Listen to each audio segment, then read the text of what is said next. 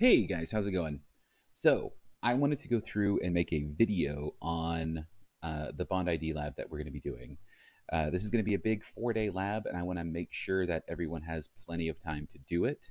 So, I'm going to make this video and have you guys watch it on Virtual Monday. That way, when Tuesday comes, you can get right to it. So, let's first talk about what this lab is going to be about.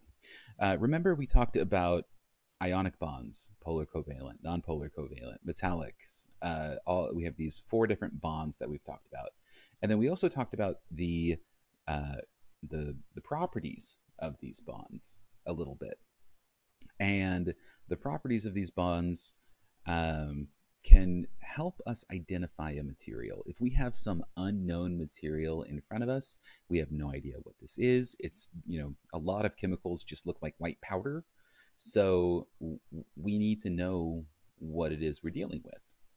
Um, there's a reason why, like in alien movies, uh, if there's some unknown substance, they immediately put it in like a container and lock it down because who knows how it's going to react?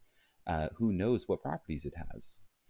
So, what we're going to be doing is going through and looking at the properties of different bonds. So the first thing we're going to do is I'm going to give you four different samples. These samples are going to be sodium chloride, uh, sucrose, uh, wax, and aluminum. Okay, so this is going to be your ionic, this is going to be your polar covalent, wax is going to be nonpolar, and aluminum is going to be metallic.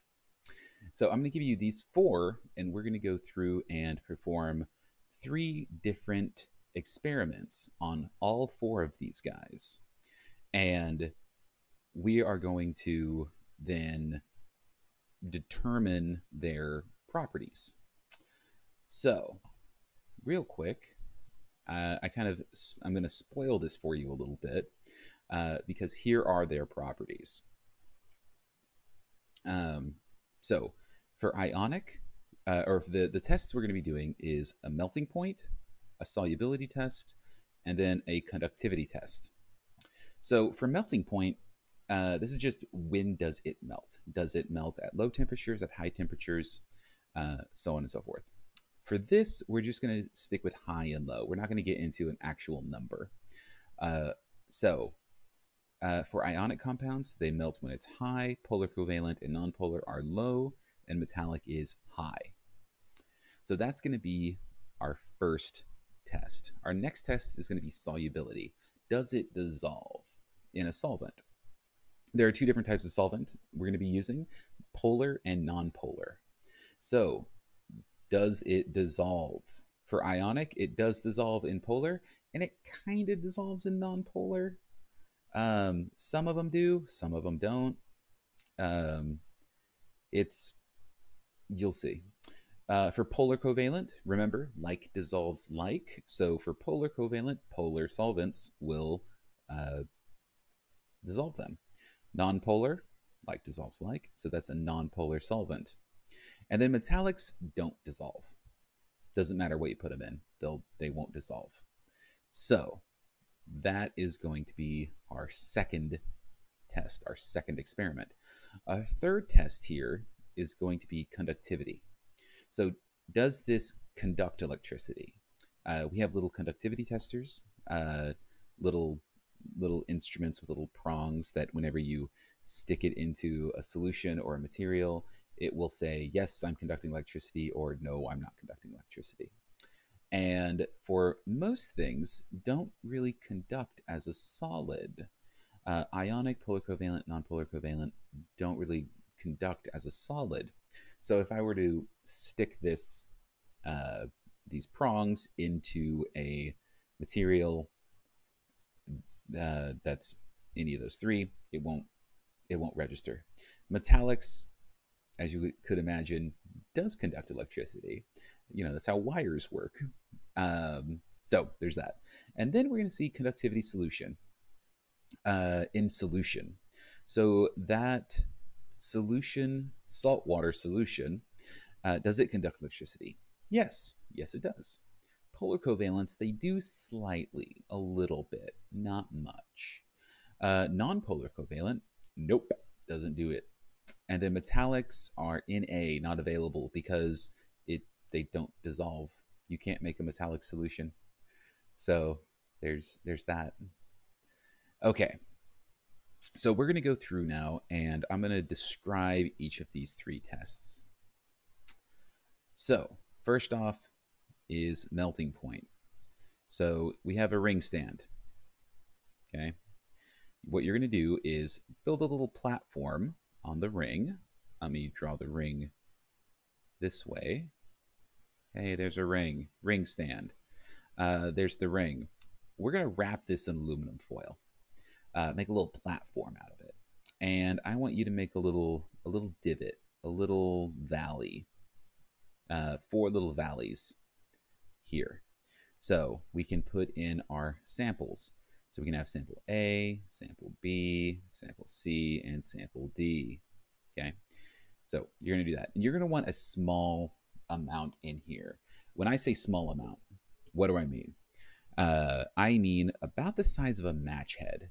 So I'm sure everyone has, uh, you know, either played with matches or lit a match or seen a match or seen a match in a movie. Uh, I think everyone has a good idea of what a match head is.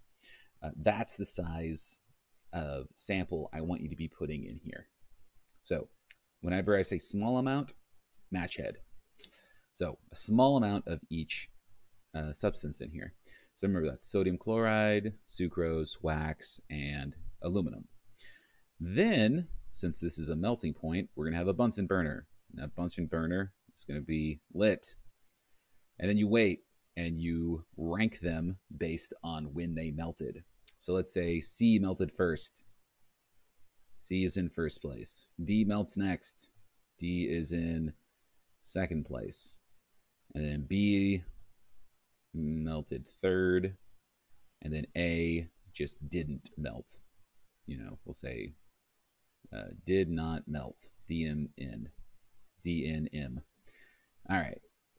So how uh, this is going to be kind of our um, our results. It would probably be better if you put this in a data table of some sort. So you can say A, B, C, D, and you can say melting point. You can be like high, low, low, high. Um, what are we considering high? What are we considering low? Um, if it melts within the first minute or two, like if these two melted in the first minute, then that's going to be low. Uh, if this guy took five full minutes to melt, then it's it's high. If and, and of course, if it didn't melt, then that means our uh, our Bunsen burner just isn't getting hot enough, so it's higher than what the Bunsen burner is. So uh, there's that.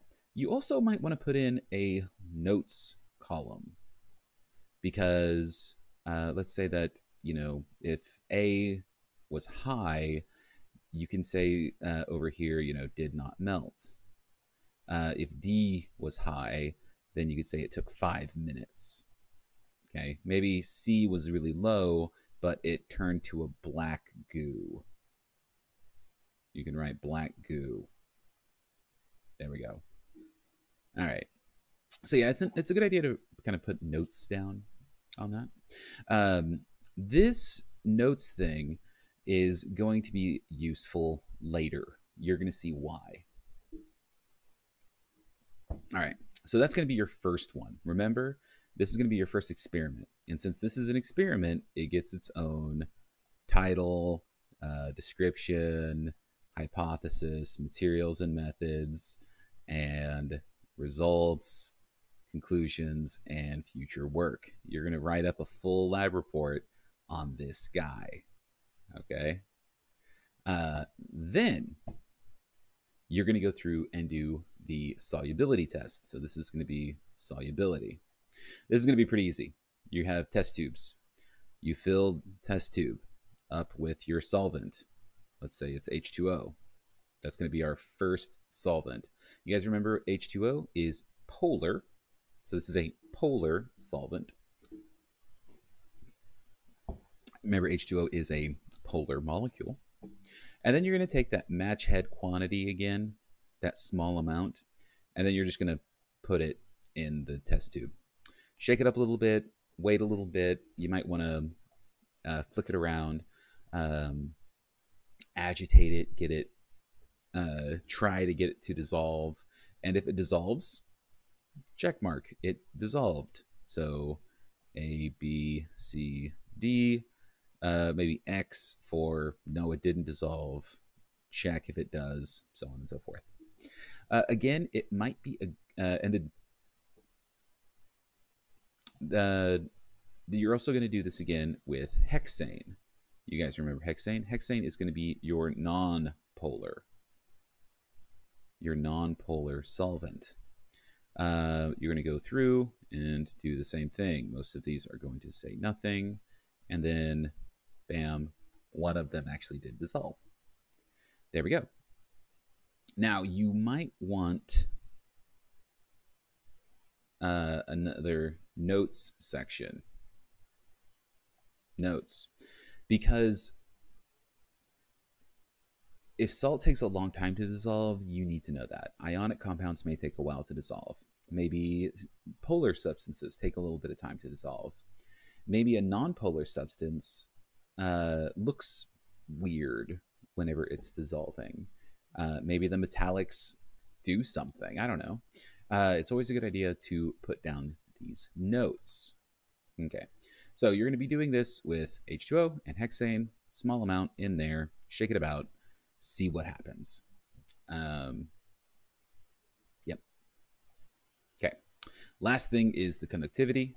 Like I said, you uh, we have these conductivity testers. There's a little battery here, a bunch of circuitry, and two light bulbs here. Okay, and some prongs what we're going to do is you're going to get an amount of your material, stick the prongs into it, and see if the these lights light up. That's it. Uh, this is that's for the solid.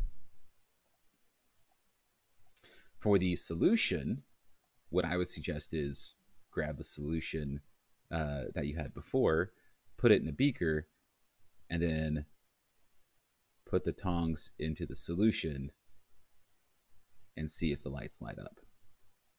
Here's that.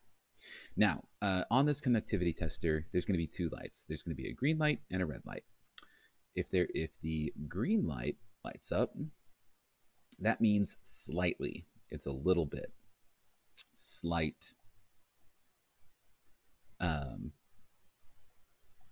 a slight charge is going through. It's conducting a mm, little bit. If you see a red light come up though, that means that it's very conductive. So uh, again, you're gonna your results are going to be another data table, A, B, so on and so forth. And as a solid, as a solution. And then you might go through and say slight or very or no something like that. Okay, so those are going to be your three experiments. Now, let's go through and talk about grading. So this is going to be how I'm going to go through and grade it.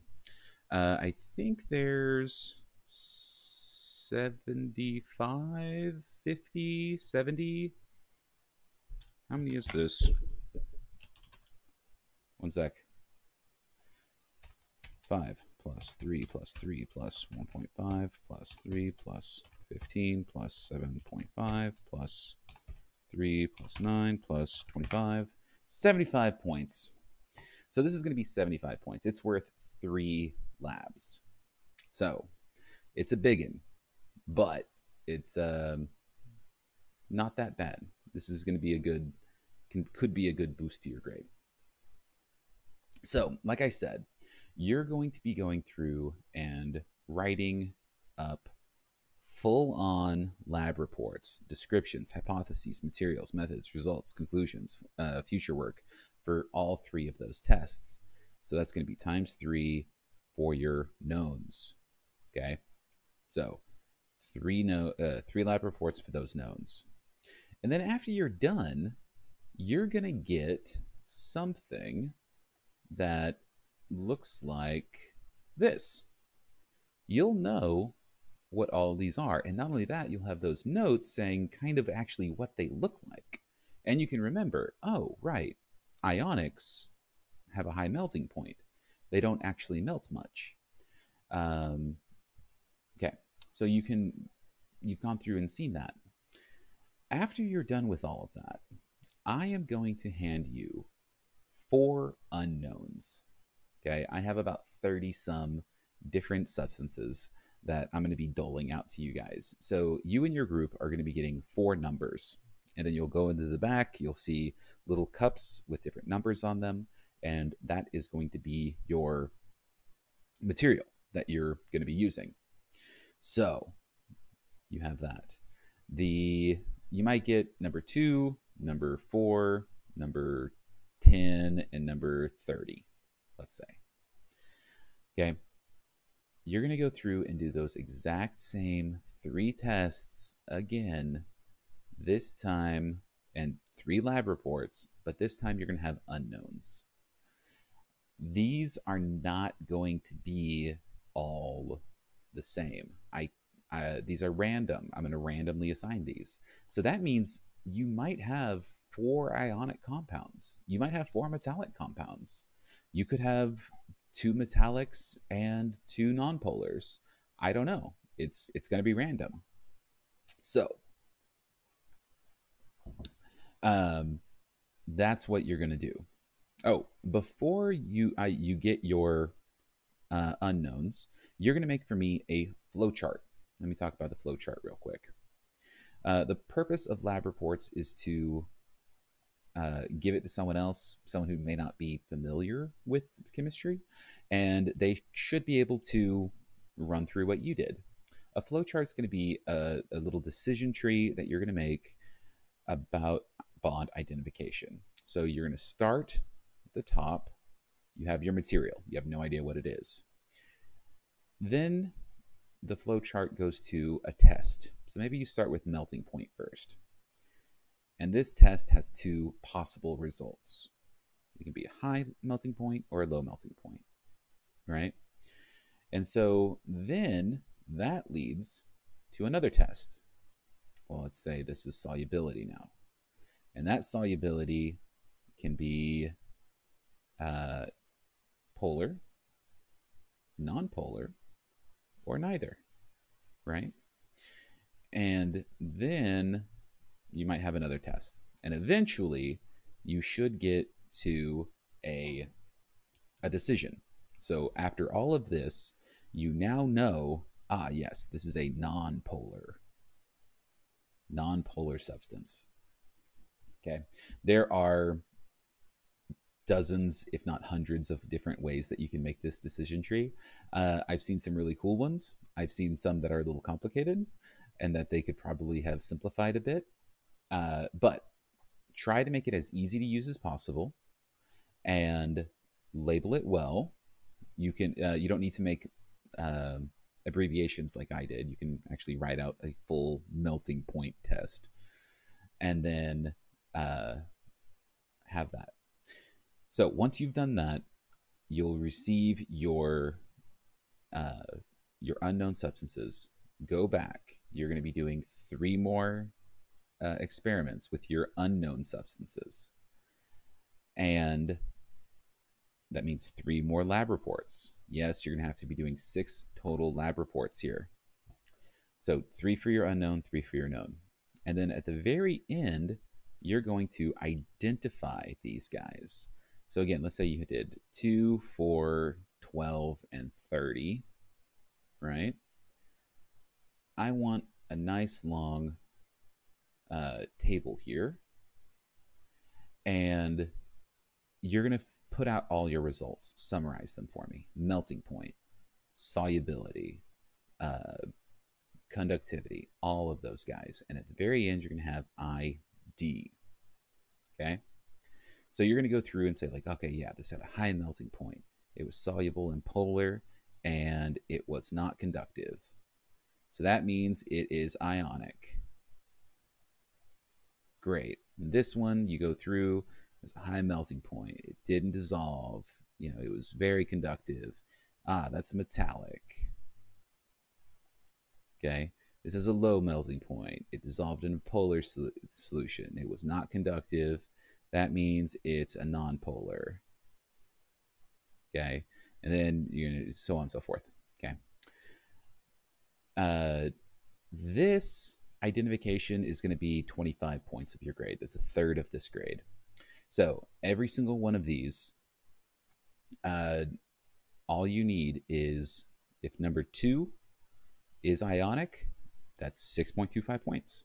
If number four is metallic, there it is. If number 12, oh, maybe you messed up, and number 12 isn't nonpolar, well, then you just lost a couple of points there.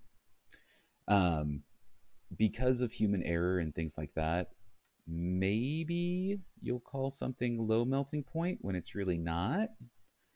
And uh, the other tests, the solubility and the conductivity, still point to metallic. If you count, if you go through and say, well, I know it says low melting point, but the other two really are pointing to metallic, and you write down metallic, you're good. You have identified it as metallic.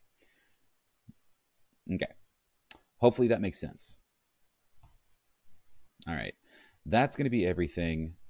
There's uh, this is a is a big lab. Uh, I'm I'm coming up on 20 minutes now, so I'm gonna end this before people stop watching. Uh, please watch this at some point uh, because on Monday we're just going to, or I'm sorry, on Tuesday we're just going to jump right down into it. All right, I'll see you guys on Tuesday. Um, have a good one.